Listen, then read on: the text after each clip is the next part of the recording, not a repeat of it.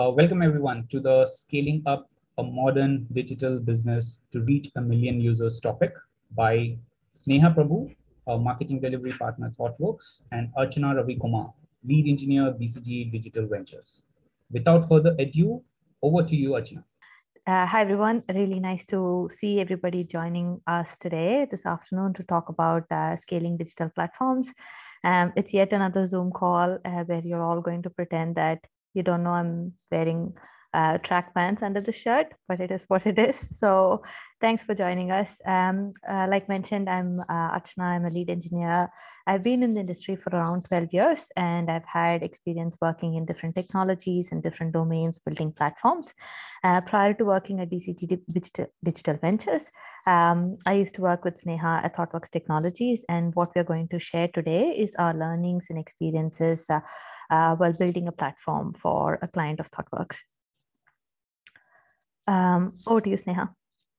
Thanks, Archana. My name's Sneha. Uh, I uh, play the role of market delivery partner, which essentially means that I support a lot of our clients based in Southeast Asia and Australia and ensure that we can deliver from, uh, from ThoughtWorks India.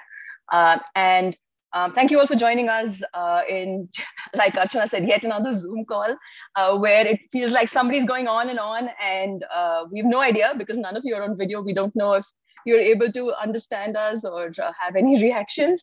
Uh, so it just feels like what we're saying is going into ether. So please do keep the chat and uh, Q&A coming so that we know what you're thinking. Um, so um, Archana and I are very lucky. We've had the chance to work together on a lot of different projects. Uh, and we're here to talk to you today about scaling digital platforms, something that we've done a fair bit of in the last few years. And we have lots of takeaways from those experiences. Uh, and we worked on one such platform together, which is uh, for an insurtech company uh, which we'll refer to a lot today as our example. Um, and Archana will set some context on this platform in just a little bit. Now, the idea of modern digital businesses is not new, and I'm sure you're all familiar with them. Um, in my mind, I think of all digital businesses as being one of two types. They're either digital natives like Amazon that started as a digital first business. They didn't move from an offline model to an online model. They started off as a digital company. Um, and then there's those businesses that have been in the industry for a long time. They excel in their respective fields, and they likely have a lot of physical assets. They have a physical presence and engagement with their customers. Um, and because of the threat of being overtaken by the digital native disruptors, they need to urgently ensure that they move to a digital model uh, in order to continue to survive. But wanting to survive may not be the only driver to turn to um, digital. Um, in order to reach millions more users, a digital platform is often the right way to go, which is why we're talking to you about scaling platforms today. Our example platform uh, that we refer to a lot today is the one that we built for a digital first company, uh, which was built to disrupt a very traditional business, the insurance industry. And you'll all have heard of digital transformation, I'm sure, even a, maybe a little bit too much. Uh, in our minds, digital, digital, transformation is the journey that a company undertakes to transform a traditionally run business uh, to a digital business. Uh, and the most common example of this, which also I'm sure you've heard too many times, is, uh, is Netflix. Um, so they're a company that started out as you know a physical service, um, and their service was to mail out physical videos to their customers. Um, and the competition also uh, offered very similar service uh, what Netflix did very cleverly was to rapidly move to a, to a digital business model by leveraging you know, technology in the form of streaming that was available to not just change the game entirely, but to also reach millions more customers than they could before, like you and me. Um, and their biggest competitor, Blockbuster, did not move fast enough, and eventually they went out of business. So every business today is either trying to survive or is urgently trying to scale so that they can capture a much larger segment um, of the market like I said, we're going to be talking to you today about um, an InsurTech uh, platform that we built, and we'll use this as an example um, to share our learnings. And Archana, could you um, share a little bit about our example? Of course. Um, thanks, Sneha. So, like Sneha mentioned, a lot of the premise for this talk is based on our experience working for an insurance startup in Singapore. Um, so they were a traditional uh, insurance company, like Sneha mentioned. So, um, you know, they started off by being a brokerage firm. Uh, but they also were like smart enough to understand the power of technology and to be able to leverage that to deliver a digital platform. So the business model when they started off was very simple. Uh, so they were providing group insurance to employees of different companies. Um, they had been in the market for about three years. They had 600 to 700 uh, companies on their portfolio, like small, medium enterprises, also called SMEs, on their portfolio. Um, and they had about 7,000 end users on the platform. So it was a pretty good journey for them. Um, so what they realized was that in order to provide a differentiator for themselves in the market, um, they wanted to kind of give the power of choice for insurance back to the customers. So, you know, they wanted to be able to allow, so they noticed that in the market, there were different types of users for insurance. So, if it's someone who's just starting out their career and they're like super fit or they don't have any known health issues, then they might want to use their insurance money to be proactive about their health and not reactively cover it using insurance. So, something like a gym subscription or a benefit package or a healthy meal subscription was something that would be more useful to such a person. Whereas someone who had like a history of health issues or who had dependents to take care of would be more interested in a comprehensive insurance coverage. So they saw that there was this difference in how users approached insurance, and there's obviously like a lot of money on the table when users don't use their package, right? Um, so they wanted to build a platform that would give the power back to the users. But where they were, they were still pretty much a brokerage firm uh, with the digital platform. So they did have a few issues on their plate. Um, so in their traditional brokerage model they were still going after the clients.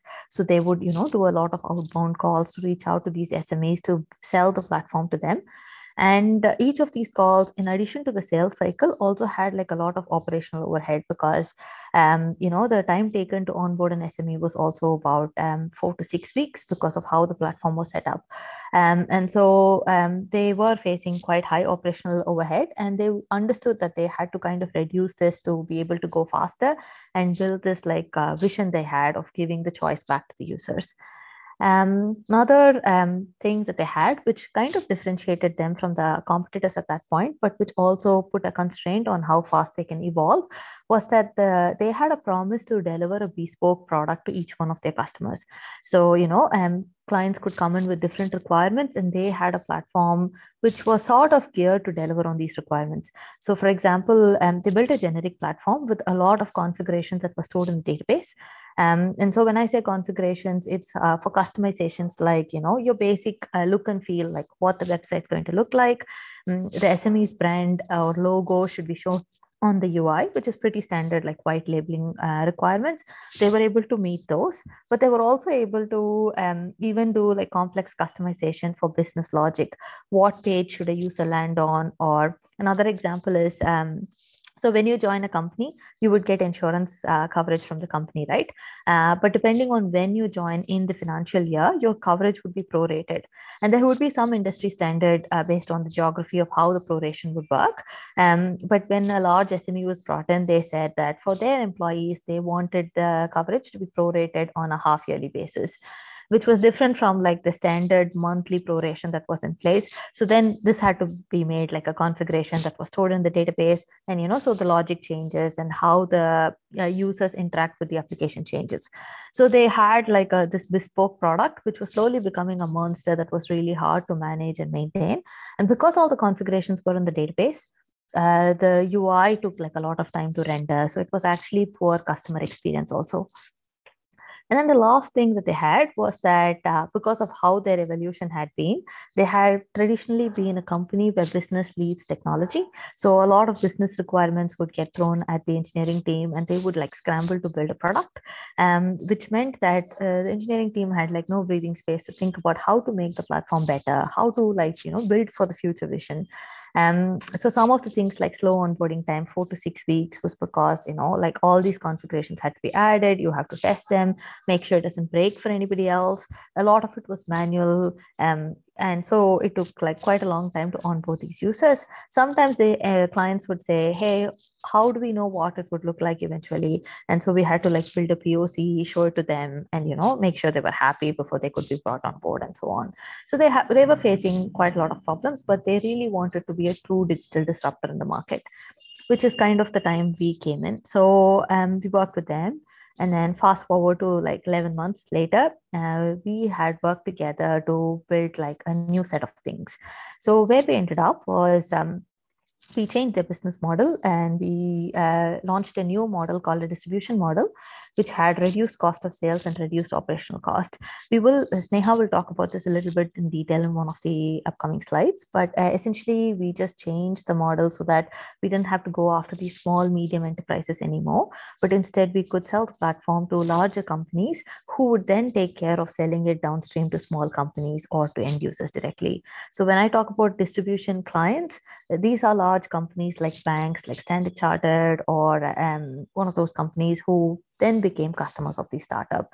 Um, then they also kind of changed their mindset of being like a traditional brokerage firm and they started thinking and acting like a product company and we built a platform as a product so it was a platform on the cloud and so we were pretty brutal about making sure that the requirements were unified. They were not a it was not a very generic product. Um, there was still possibility of configuration but only things that made sense. And so we unified requirements as much as possible. We reduced and kept the configuration to a minimum. We removed it from the database. We made it like a environment configuration so it was easier to like uh, figure it out and the platform didn't like have poor performance because of configuration in the database um, but in case a new user, a new client came in and asked for like highly custom configuration, we would not turn them away. Instead, we just asked them to pay a premium for that configuration so that the you know effort justified the cost and so on and finally i think both tech and business they started like working hand in hand with each other. They really understood like the power of collaboration um, and business understood like the power of having tech on board right from the start so that you know we could work creatively on some of these problems like reducing the onboarding time and uh, for some of the smaller clients, uh, we started rolling out like a self service model where the clients can kind of choose what they wanted. And it was automated till the end without the need for like manual configuration, manual testing, and so on. Um, so it was a pretty interesting journey uh, over a period of 11 months. And I'll now pass over to Sneha to talk about how we started, where we started, how we ended up here, and what our journey was like.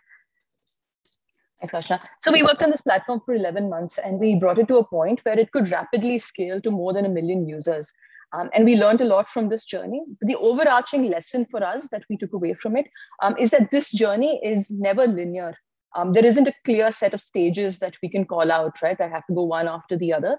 Uh, but a lot of different things have to happen in parallel. It just can't be sequential.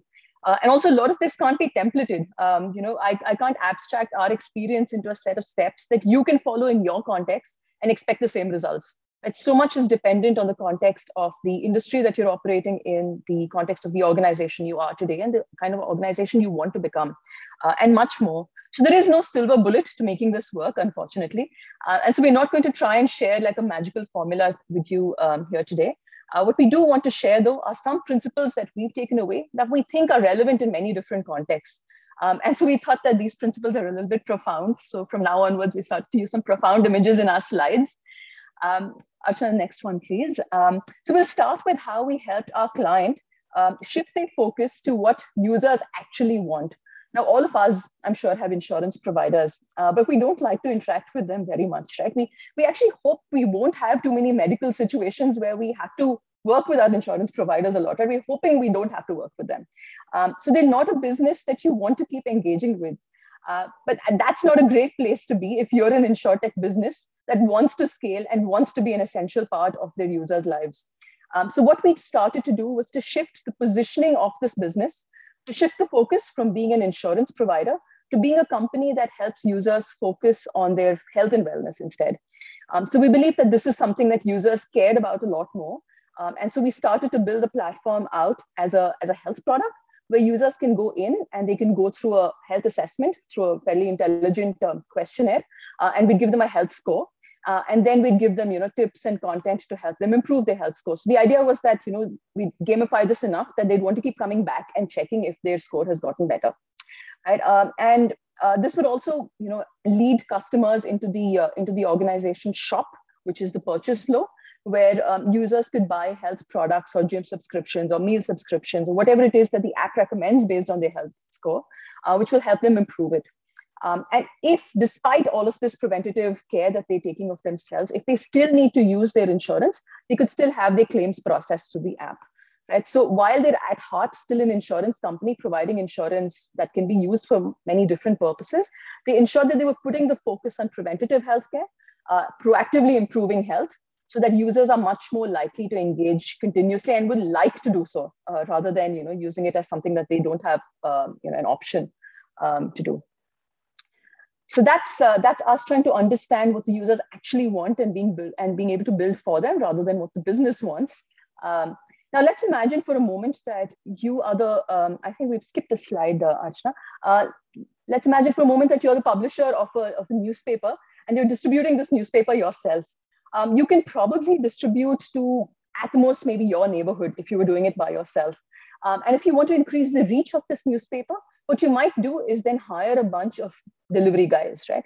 Um, and that's exactly what we did with this uh, insurance business. Um, instead of having to onboard each smaller, medium-sized business uh, and sell the product to them, uh, what we did was create a new layer of consumers. Uh, and Archana was referring to them earlier. They, these are the people that we called the distributors. Um, and what we did was to create a platform that will help them distribute the product to uh, multiple other um, customers. Um, so now this customer, this distributor is generally somebody who's a very large organization, maybe a bank, maybe a telecom company, who already has a relationship with many small and medium businesses, and by you know uh, by function of that, also a relationship with all of their employees. So, for example, I work at ThoughtWorks, um, and we're a you know we're 3,000 people in India, um, and I uh, uh, uh, my salary account is with Standard Chartered because ThoughtWorks already has a relationship with Standard Chartered, right? So uh, if this insurance company was trying to sell to ThoughtWorks, the sales cost would be really high because they have to sell to multiple ThoughtWorks, and with each sale they get about 3,000 users. Um, whereas selling to Standard Chartered gives them access to so many more organizations, and as a result, so many more employees, tens of thousands more people through one sale. Um, so the idea was really to leverage, you know, those relationships that they already had and what's in it for a bank like standard chartered? You know it's, it's just that they could then use this application you know it's white labeled um, and uh, is branded with their uh, organization's uh, uh branding um, so that it they can now start to offer um, something else that they can cross sell along with salary accounts to a company like thoughtworks right? They can now actually offer insurance uh, as a product to the same customers that they already have previous relationships with. Um, and so you know, often when we think about expansion, uh, we think about uh, engaging a customer segment that we didn't previously engage. But rather than that, if we engage a customer layer whose reach is, you know, can multiply our own, uh, it's often a much better move to make in order to scale. Um, next one, please, Archana. Uh, something to keep in mind when we're talking about scaling a business is to note that, you know, until this point, the business has clearly done something right, right? If they're ready to scale now, they've you know they've had a good idea they've validated that idea they have a clear business model uh, they have a pretty good customer base uh, and that's why right now they're primed for scale um, and it's important to you know continue to keep the business running and to keep that customer base happy and unaffected by new changes that we're making, right? Um, so it's important for the team that is focused on growth to not operate outside of this ecosystem, but to actually work with the business priorities, right? If, if the priority is to keep the lights on, to keep these customers happy and to keep adding value to them, we've got to continue to do that and adapt that into our roadmap. Um, and for the InsurTech business example, it was important for us to keep the business running and at the same time acquire at least one such massive distributor, a standard chartered kind of distributor, so that we can validate the concept of the distribution business model before we started to invest more in it. So as a product team, this was something we had to keep in mind that there is going to be two sets of customers that we need to keep, one that we have to keep happy and unaffected and the other which, where we're trying to validate a new idea. Um, next one, please, Archana.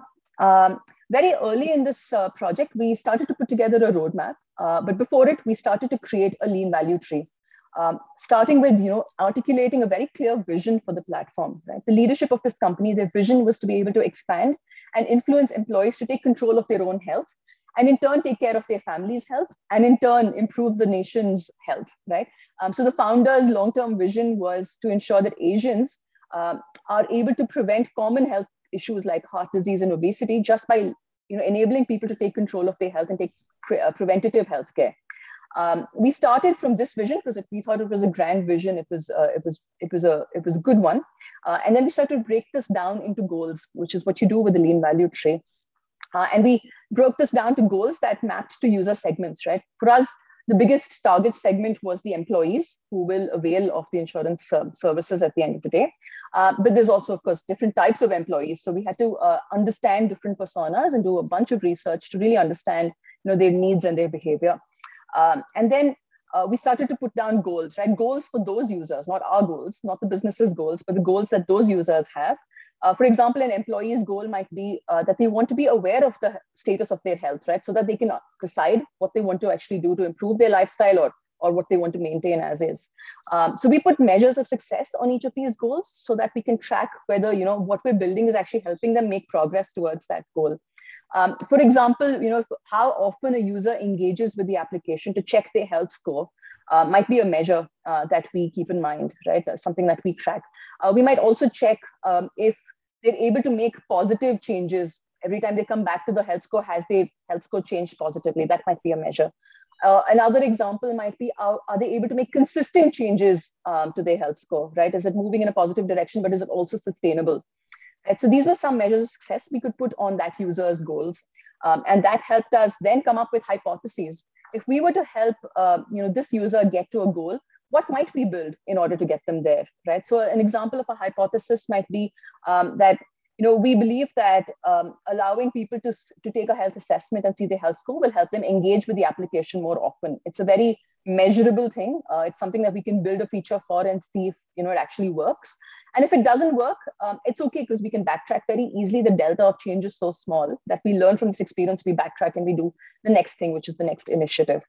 Um, and so this way, uh, you know, we're able to build a very dynamic roadmap, right? That's what the leaning, lean value tree uh, helps us do is to not have to set a roadmap in stone at the start of this journey and then follow it to the T, right? Because a lot of things change along the way and you learn a lot about what users really want, right? Um, so a lean value tree structure helps us keep that vision intact, but also helps us be flexible on what we build in order to get there. And uh, and uh, what's critical about that is then you you know develop an experimental mindset, which is exactly what you want in order to make this so dynamic. Uh, yeah. Uh, so when we start talking about experimentation, I think uh, at that point it kind of becomes uh, the owners of the engineering team to start thinking about what are the tools and frameworks that we need to put in place to enable our product team to run these experiments that sneha was talking about to be able to uh, have a roadmap that is so dynamic and is able to adapt and pivot as the users needs change and evolve right um, so for that effect, uh, what you're looking at here is a classic build, measure, learn cycle. So we did something very similar. Um, our whole platform was built and deployed on Azure, but all the cloud providers, major cloud providers like GCP, AWS, and Azure have comparable features. So it doesn't matter. Um, but we used Azure and then we started using Firebase Analytics to start tracking our user behavior and metrics. Uh, but again, there are comparable tools on each one of these platforms. There's other tools like Segment um, and others, which you can also use to start tracking your user behavior and other product metrics. Um, by looking at this data, we started like being able to visualize how the users are interacting with the system and that gave us like immense learnings about what are the things uh, that the users need to see more of um, but in order to um, in order to enable rapid experimentation right we needed to have a path of being able to release features very rapidly into production but also very confidently. So we started using uh, feature toggles. Uh, uh, developers in the audience who uh, have been working in the industry for a few years would definitely already know what feature toggles are. Uh, but they're just like a very simple mechanism that enables you to choose selectively what features to enable or disable on production traditionally we've used these to um, you know uh, if you're building a new page or a new feature let's say you could enable it on uh, test environments but you could turn it off on production. So until you're happy with what you've built you can choose to turn it off on production. And once it's ready and tested you can enable it and users will start seeing it. Um, so you could use something as simple as a feature toggle framework um, which can also be you know just configuration in your uh, code base or it could use a sophisticated framework like firebase remote config or aws app config. Uh, but end of the day, the idea is that you just use configuration to intelligently decide what features your users are going to see. But you could also extend it a little bit um, and use tools like Launch Darkly or others, uh, which help you do like um, roll out features to an experimental set of users. Maybe like you know the users who are more savvy or who you who are more used to the platform to kind of get like early feedback on what you're doing and how it is faring with the users.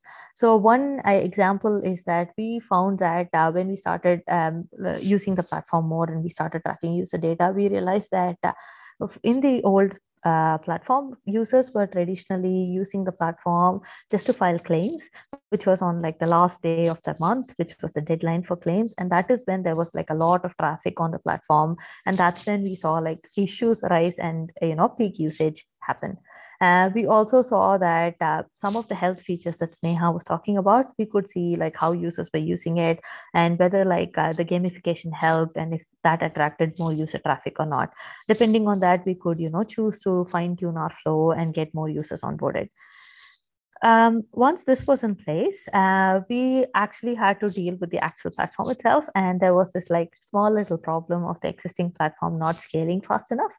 Um, so what you're seeing here is a comparison of like the before and after. So they um, the team, the startup team had started by building a monolith, and which was the right decision to make at that point, right? So maybe before I go into details of the slide, I should like put a giant disclaimer. Uh, microservices are great, but I think the usage of microservices, they're not a silver bullet for all problems. And so the usage of microservices depends a lot on the maturity of the org to be able to deal with like the infrastructure requirements and CI/CD requirements, and also whether it's really like uh, it has good ROI for the amount of work you're going to put into carve your platform into services, right?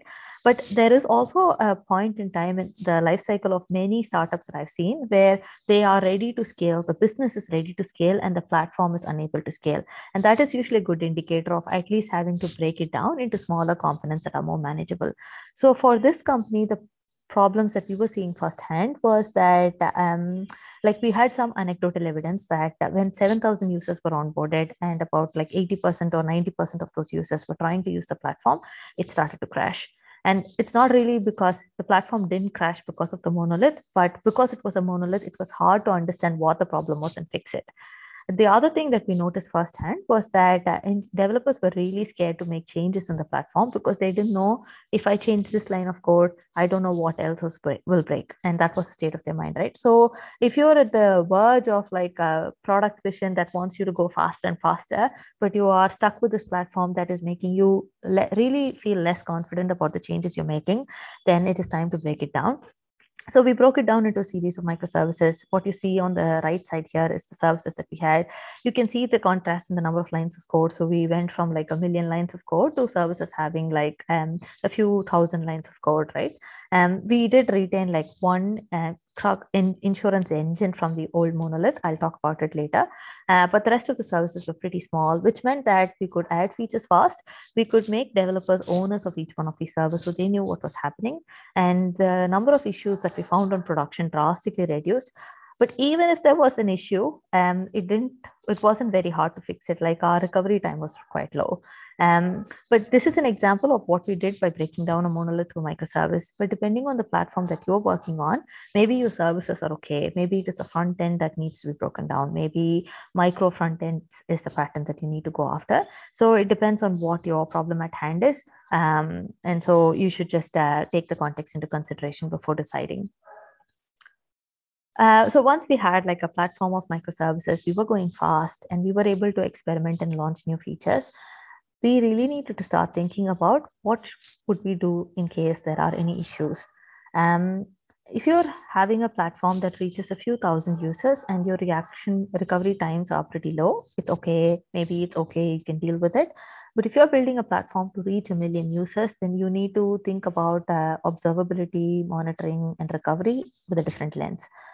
Um, so there's a really good book called Accelerate, which talks about like four key engineering metrics that one should look at. And one of the metrics there is mean time to recover uh, or failure rate, uh, like recovery rate from failures, right? Uh, so the idea is that uh, so where where they were when they started, it was like um, so we roll the developers would roll out a feature into production. and they go for a few months. We don't know who's using the feature, whether it's being used or not, if there's any feedback then suddenly the end users using the feature would find some bug, maybe something's not working as expected or the system's crashing. and they would raise a bug report, which wouldn't actually directly come to the developers. It would go to the call center because they'd call up the call center. The call center folks would then reach out to the developers. Then the developers had to debug, figure out where the problem was, fix it, and then release a fix to production. This is a big cycle. Um, and then if you think about it uh, one step more, um, if you have a release process and you know you're set up to go live only once in three, uh, four to six weeks, then no matter when the issue is found, it's going to take at least another three to four weeks to push the release uh, fix out, right? Uh, but in a platform that's rapidly evolving, that's a no-go. So we actually doubled down and focused on some of the tools that will improve observability and traceability for us. So we started using um, uh, Grafana tools like Grafana Sentry to start looking at uh, what are the issues happening. So at any point in time, we could have a snapshot of how the system is behaving and also how the users are behaving. How many API calls are made? How are the users interacting with the system and so on.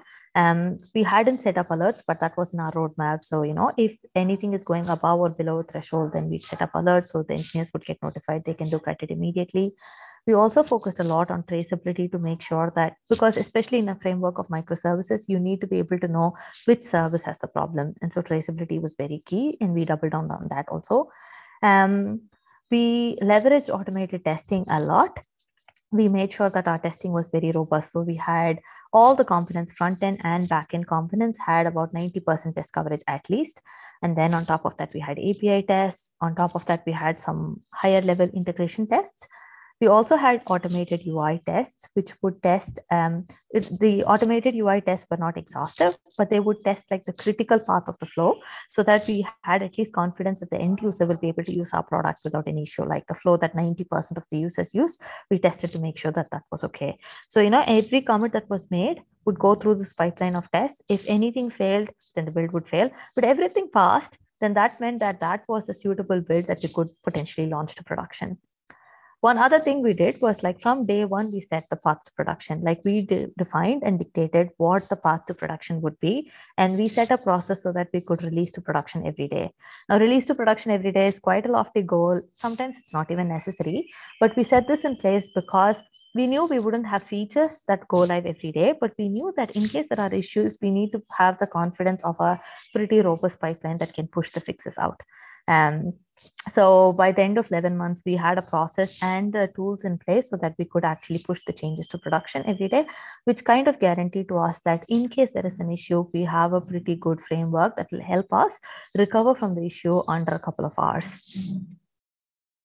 Um, so now uh, we'll switch tacks a little bit. Um, so we have a pretty good framework and, uh, you know, everything is going as according to plan.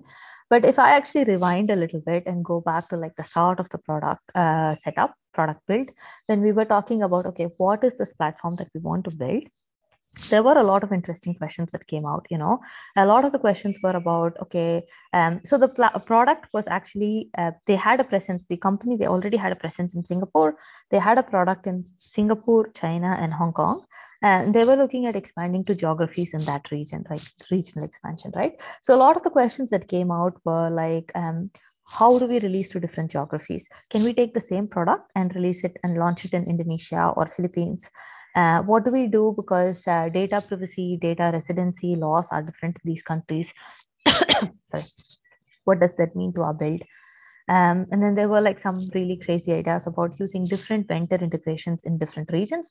Like, uh, for example, in China, I want to integrate with labs so that they can directly upload test results to our platform which brings like a whole different um, thing into focus right? Like we started to we had to think about like uh, these are confidential health records. How do we maintain security privacy? And what are vendor integrations? Like different geographies might have different types of integrations. Are these going to be via apis data dumps data sinks? We don't know. Um, and then they talked about can we make it an e-commerce platform? Can we start selling health products on this platform? Right. The ideas wouldn't stop coming, and it was really great because um, it was everybody was like really curious and really uh, excited to see uh, the extent this platform could grow into for us as an engineering team, this was also really interesting to know because some of this gave us an insight into where the product vision is headed. And we could actually plan to scale some of these ahead of time and some of these later in time. So, for example, the different geographies question, we actually had to take it into account right at the start because if we had to change a cloud provider nine months after we started building, that's going to be a lot of money and effort. But some things like vendor integrations or e-commerce products, we could actually say with confidence that, you know, that's actually just like building a new feature. So it's okay. It wouldn't have too much impact on our technology decisions. But it was actually really important for tech and product and business to be engaged in this conversation together so we could, you know, plan to scale in different phases, in different speeds having said that uh, that kind of like led us to thinking about the right technology choices to use so you know uh, they, the monolith that I spoke about earlier, um, that was uh, built in .NET, and there's a lot of bad rep for .NET, but I like .NET, and we decided to continue using .NET because the existing developers they already were skilled in .NET. We could use their help. Uh, we could actually salvage an insurance engine which was in .NET and reuse it, repurpose it in the second part of the build. Um, we, but we also were very clear that it should not like kill innovation or modern ideas. So we, you know, we, we pivoted a little bit. We used .NET Core. So, you know, we could do like containers. We could uh, automate it and deploy it to cloud with very less hassle. Uh, we used containers because, like I mentioned before, we wanted to go to different geographies. So instead of like a full dependency on Azure as a platform, we used Kubernetes to reduce that dependency. But we also, it also helped us have like very fast, very scalable deployments. And we used infrastructure as code so that we could automate at scale for a platform at scale. So depending on the context, I think it's really, really important to choose the right technology that will help us scale at the right pace. Now that the right tools are in place and the right technologies are in place, we then started thinking about what is the right sort of teams that we wanted to build. And I'll hand over to Sneha to talk about that a little bit more. Thanks. Um, so you can do everything right, right? You can have a great roadmap. Um, you can make all the right tech choices, uh, but none of that will matter unless you've got the right team in place. Um, and the way we split up the team was also geared for scale. Um, each team was uh, completely cross-functional so that they could be independent. Um, and every team had a very clear objective, uh, which they were supposed to go after, uh, which was mapped to a user goal from the lean value tree that I shared earlier. Um, so we could split out, for example, a health team, right? Uh, and their objective was to make sure that users are frequently engaging with the app uh, and checking out their health score. Uh, so the health team had complete autonomy to experiment with you know how they what they want to build and how they want to build it in order to get to that objective uh, and we measure the effectiveness by tracking the measures of success that we put against that goal uh, in the lean value tree uh, another team was responsible for shop, which is the purchase flow, uh, making sure they were recommending the right products uh, and uh, enabling customers to complete the flow um, well. Um, and a third team was called the claims team, um, whose job was to collect and process claims efficiently and integrate with you know, third-party uh, claims adjudication um, services. Uh, and processing time for the claims was their measure of success. Um, and we had other personas that we had to build teams for, uh, which I've not mentioned so far. Employees were one uh, set of uh, users, but we also had other users in the form of, you know, HR admins, right? And an organization, when a lot of people join the company, you want to make sure that those people are onboarded onto this insurance uh, portal, uh, or when they leave, they're uh, they're um, offboarded, right? Um, so we had to build a team that focused on the HR admins side of um, the actions. similarly, we had a customer support admin uh, which was another persona. And the team building that portal was measured by how quickly it was possible to resolve a customer's, uh, like a, a, a, query that was raised. Um, we also made sure to uh, keep our teams very reconfigurable so that if an objective changed, and it will because the LVT was designed for uh, you know a dynamic roadmap, right? So objectives can change. We have to be able to reorganize the teams very quickly uh, and and you know still make them as effective, right? Um, so halfway through this through building this platform, the insurtech company realized that we've been focusing so much on employees that we've missed out on a very large customer segment, which is these employees' dependents who are covered by the same policy. Um, and so then they said we've got to build an app that dependents can use uh, because there are some aspects of the uh, flow that uh, apply only to dependents. It's a subset of the larger um, employees um, uh, flow, right? The user flow. Um, so what we did was very quickly spin up a team, right? We got two people from the health team, two people from the claims team, two people from the um, shop team, uh, and because they already had context uh, of what was built, and so they could very quickly reuse the blocks of code that uh, we could put together and create a dependent app. And we created a dependent app in about six weeks uh, because that context was already there that we could leverage. Um, so in this way, you know, we were able to keep the teams very agile. Uh, and uh, and it helped a lot that you know we were also giving people ownership of objectives, right? So they could find the best way to get to those objectives as long as those objectives tied up to the larger vision um, that the that the company held. Um, next one, please. Um, another way for an organization to scale is to hire the right capabilities at the right time. And as I said, we shifted the focus from being, uh, you know, for this business being insurance uh, to being health tracking. So that prompted us to bring on people who had some experience in healthcare. So at one point, we even brought a doctor on. Uh, and because we were setting up for large scale and we knew we wanted to reach a million more users, um, we also hired infrastructure engineers, right? So that they can set up expandable infra so that as and when we build the platform out and we reach more customers, the infrastructure can scale as well. Um, and so we hired pragmatically and we also focused on speeding up their ramp up time so that they can hit the ground running. And so splitting up the, the monolith code base uh, into smaller microservices was actually really useful, not only for you know the for the reasons that Archana said, but also for people to ramp up very quickly because they only had to get context of the code base, uh, the microservice that they would be responsible for, and not worry about you know trying to make sense of the whole large code base, right? Uh, and so they could contribute very quickly after joining the team. Um, and these measures are really important, right? Taking these steps is quite important to, to, expand the organization itself and be better placed to expand customer reach. So we're splitting teams up. We were able to give uh, ownership uh, earlier on, even to new hires, uh, because they're able to ramp up very quickly, have a very focused goal, uh, and you know get get to quick wins very fast. Um, and so next, please. Uh, everything we've talked about so far, right? We've talked about measuring, uh, capturing the right data, measuring, uh, you know, how users are reacting and uh, and uh, adjusting, you know, our direction. Uh, we've talked about having a roadmap that is experimental in nature, so that we have, you know, an experimental mindset when we're when we're putting it together and we're able to take some risks, right? We're able to take some bets and then backtrack if we're not if those don't pan out. Uh, we're talking about an operating model that um, that has to change so that we can reach exponentially more customers. Uh, and the distribution model in this case was that operating model that we brought in. And at the heart of it all is uh, a strong engineering culture, right? Building the right team, having clear objectives. But all of this cannot be done one at a time, right? These are all things that have to happen in parallel. And like I said at the start, uh, this journey is never going to be linear. Uh, you will never have a clear set of stages. These things have to happen um, together and in tandem with each other. Um, and that's, I think, our most critical takeaway from the experiences that we've had uh, building multiple such platforms uh, for scale. And with that, uh, we wrap up today. Uh, thank you all for listening. We see there's a bunch of questions in um, the Q&A box. we've answered a few as we've gone, but we uh, if we've got the time, we can take some now, or you can join us, I think, in the Hangout.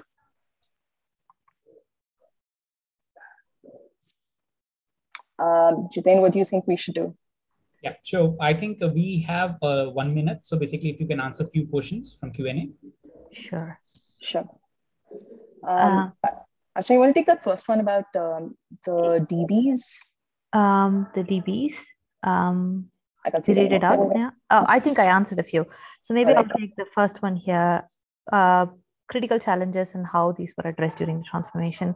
I can cover a few, Sneha, you can go to. Um, so I think there were uh, lots of challenges in terms of uh, uh, like switching technology. You know, like we had questions from day one about should we use React, um, should we use TypeScript, should we use JavaScript, um, how do we carve out the microservices how do we make sure that the boundaries don't leak you know like how don't we how do we make sure that we add just uh, the requisite amount of functionality into each service um, but also uh, in addition to like all the technical challenges we were also like you know um, grooming a pretty young team.